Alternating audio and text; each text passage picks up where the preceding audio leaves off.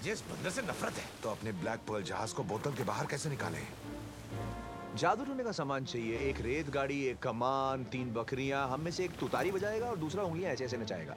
एक बकरे वाले को मैं जानता हूँ। अच्छा है मैं उंगलियाँ नचा लूँगा ऐसे ऐसे? जैक एक बात कहूँ तुम्हारे पास शाही प्याले थे अमृत था जलपरी का आँसू था चाहते तो तुम अमर हो सकते थे। अमृत इम्तिहान लेती है गिब्स मगर ज़िंदगी का मज़ा तभी है जब मौत बिन बुलाए आए। हमारे वजूद का हर हिस्सा ज़िंदगी की आखिरी घड़ी तक एक रहस्य बनकर रह जाता है, वही तो मज़ा है। और फिर क्या पता मैं कयामत तक जी भी सकता हूँ?